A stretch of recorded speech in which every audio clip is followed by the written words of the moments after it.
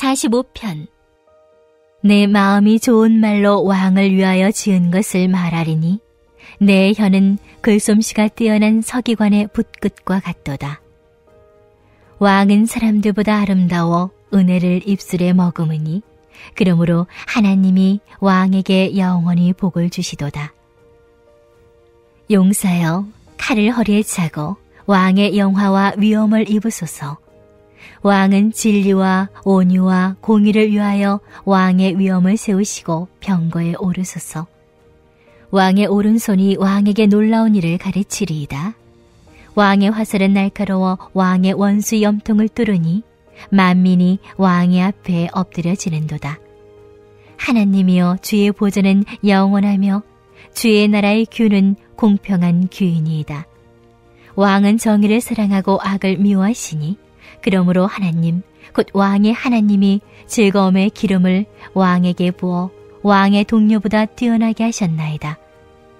왕의 모든 옷은 모략과 침향과 육개의 향기가 있으며 상하궁에서 나오는 현악은 왕을 즐겁게 하도다. 할렐루야. 오늘도 하나님 주신 크신 은혜가 가득하시기를 주님의 이름으로 축복합니다. 오늘 시편 45편의 내용은 어느 왕인지 정확히 나와 있지 않지만 그 왕을 향한 노래를 기록한 어, 말씀입니다. 하지만 이 글을 읽어보면 당연히 이 왕은 예수 그리스도를 의미하고 있죠. 시편 기자는 자기가 할 수 있는 최고의 찬사를 가지고 예수 그리스도 왕을 노래하고 있습니다. 우리 본문 2절 한번 읽어보겠습니다. 왕은 사람들보다 아름다워 은혜를 입술에 머금으니 그러므로 하나님이 왕에게 영원히 복을 주시도다. 그리고 17절도 우리 한번 다시 읽어보겠습니다. 내가 왕의 이름을 만세에 기억하게 하리니 그러므로 만민이 왕을 영원히 찬송하리로다. 아멘. 이렇게 시편 기자는 예수 그리스도를 향해 이 자세한 자신의 마음을 표현하고 있습니다. 그러면 시편 기자가 살고 있는 이 시대는 지금 구약 시대잖아요. 그러니까 앞으로 오실 메시아를 기대하고 그 메시아가 함께 펼쳐질 나라, 이 땅 가운데 새롭게 세우실 하나님의 나라를 기대하고 있습니다. 사랑하는 성도 여러분, 우리는 어떠십니까? 오늘 이 시편 기자처럼 이 땅을 살아가고 있습니다. 우리가 재림하실 영원하신 왕을 기대하고 또 그 예수님과 함께 도래할 영원한 나라를 정말 기대하고 계십니까? 기다리고 계십니까?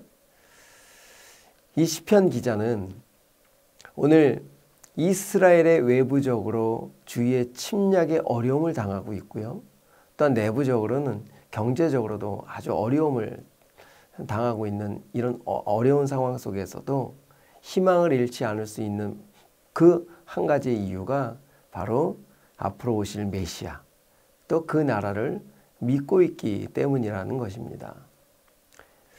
이렇게 자신의 확신을 가지고 하나님을 노래하고 왕을 찬양하고 있는 것은 이 시대에 예수님을 믿는 우리들에게도 도전이 되는 거죠.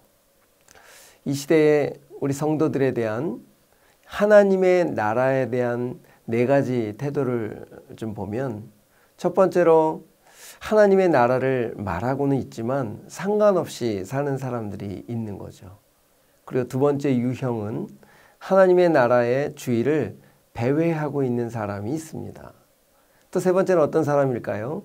하나님의 나라를 향하여 한 걸음 한 걸음 나아가는 사람이 있고요. 마지막 네 번째로는 하나님의 나라 안에서 살고 있는 사람이 있다는 것입니다. 여러분 우리 성도님들은 이 네 가지 중에 어디에 소속되어 있으십니까? 오늘 이 시간 우리는 우리의 삶을 다시 한번 돌아보며 내가 이 시대의 하나님의 나라를 살고 있는지 아니면 그 나라를 향해 걸어가고 있는지 아니면 배회하고 있는지 아직 그 나라와 상관없이 살고 있는지를 돌아봐야 될 것입니다. 여러분 오늘 그 오실 메시아와 그 나라를 누리지 못한다면 어떻게 우리가 성도로서 그 예수님과 천국을 전할 수 있겠습니까? 그리고 이 어려운 시대를 믿음으로 어떻게 살아갈 수 있겠습니까? 우리는 반드시 다시 오실 우리 만왕의 왕이신 예수 그리스도를 기대하고 기다려야 할 것입니다. 우리 한 가지 이 시편 기자를 통해서 어, 알수 있는 것은 노래만 하고 있다는 것이 아니죠. 그분의 통치 안에 순종하고 있다는 것이었습니다. 우리 11절 다 같이 한번 읽어보겠습니다. 그는 내 주인이시니 너는 그를 경배할지어다. 노래 대상이 바로 예수 그리스도시고 그분의 그분의 통치 또한 그분의 다스림을 받고 있다. 내 인생이 그분이 주인이시다라고 고백하고 있죠. 참 우리도 마찬가지입니다. 예수님을 왕이라고 입술로 고백하지만 우리의 삶의 행동에서는 여전히 내 감정대로 움직이고 내 생각대로 행동하지 않습니까? 예수님을 그냥 우리의 삶을 돕는 정도로 나를 위로해 주시는 정도로만 믿고 있지는 않습니까? 아니 그렇게만 바라보고 계시진 않습니까? 아직 우리 현실 속에 그분은 나타나시지 않았지만 그분은 처음부터 영원까지 우리의 삶을 통치하시는 주인 되실 우리 예수 그리스도이심을 믿습니다. 자, 여러분, 그분의 통치 안에 머물 때 우리는 어떻게 될까요? 바로 오늘 그 결과를 15절에서 17절에 말씀하고 계십니다. 그들은 기쁨과 즐거움으로 인도함을 받고 왕궁에 들어가리로다. 왕의 아들들은 왕의 조상들을 계승할 것이라. 왕이 그들로 온 세계와 군왕을 삼으리로다. 내가 왕의 이름을 만세에 기억하게 하리니 그러므로 만민이 왕을 영원히 찬송하리로다. 할렐루야. 여러분 우리가 아직 오시지 않으셨지만 오실 그 만왕의 왕이신 예수 그리스도를 주인으로 고백하고 그분의 나라를 이 땅 가운데 살 때에 하나님은 지금 우리가 읽은 대로 이 땅 가운데 놀라운 일들을 행하실 것입니다. 그럼 마태복음 6장 33절에 이런 말씀이 있죠. 그런즉 너희는 먼저 그의 나라와 그의 의를 구하라. 그리하면 이 모든 것을 너에게 더하시리라. 할렐루야. 우리의 삶의 영역 속에 먼저 예수님의 통치, 다스림을 받고 그의 나라와 의를 구하는 자는 여기에 먼저라는 단어는요.